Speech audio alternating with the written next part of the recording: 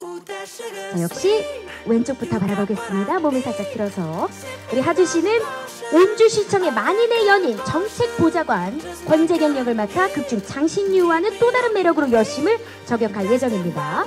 네, 오른편도 살짝 몸을 틀어서 인사해 주시고요. 네, 좋습니다. 네, 어, 우리 훈남 보좌관의 부드러운 카리스마가 좀 장착된 미소. 아, 우리 V를 해 보이며, 네, 귀여운 포 하트 포즈도 한번 부탁드려 볼까요? 네, 좋습니다.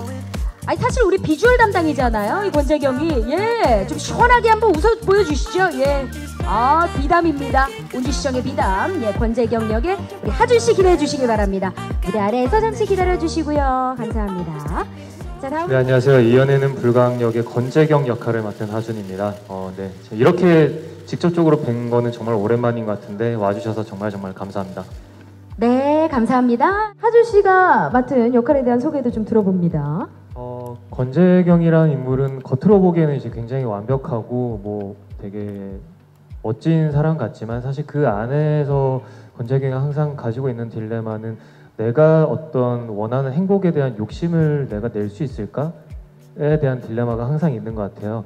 장신유랑 권재경이랑 사이에서 어떤 보이는 부분들도 서로가 서로를 너는 되게 완벽한 사람이잖아. 하지만 이제 서로가 알고 보면 사람은 그 안에 들어가 봐야 또 그 사람들이 여러 가지 사연들이 나오잖아요.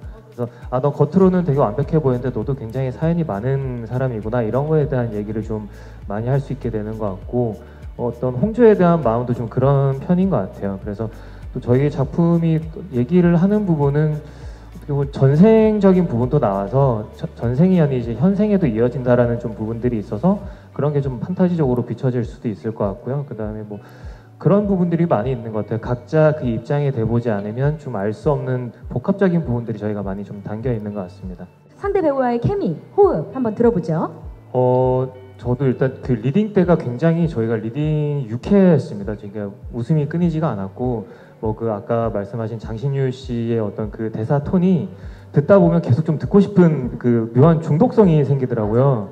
네, 그래서 좀 스며들게 됐던 것 같고 뭐 보아 씨도 뭐 워낙에 훌륭하시고 유라 씨는 뭐 전에 또 같이 작품을 한번 했던 경험이 있어서 되게 좋았던 것 같고 그 제가 생각하기에 좀 우리가 사람 간에 서로 좀 되게 편해지고 이러다 보면 약간 좀 한꺼풀 내려놓고 좀 아이처럼 친하게 지내지는 성향이 있잖아요. 근데 저희가 현장이 좀 그랬던 것 같아요. 다들 서로가 너무 서로를 좋아하고 신뢰가 생기고 하다 보니까 어, 정말 정말 좀 이렇게 유쾌하게 놀이터에서 이렇게 노는 듯한 느낌들이 많이 있었고 어, 또 저희가 또 좀 유쾌한 부분을 많이 전달 드릴 수 있는 작품은 현장에서 유쾌해야 된다고 생각을 하는데 그 부분에서 정말 저희가 유쾌하게 제가 또 언제 어디서 이렇게 좀 내려놓고 할 수 있을까 싶을 정도로 정말 그런 유쾌한 현장이었던 것 같아요. 근데 이제 그거를 감독님께서 이제 참 잘 이끌어 주셨습니다. 또 마지막에 감독님 얘기까지 마무리를 잘한다. 어, 우리 하준 배우님. 예, 좋습니다.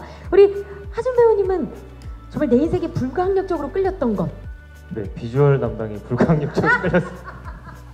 어, 아, 정말 한결 같으세요. 예.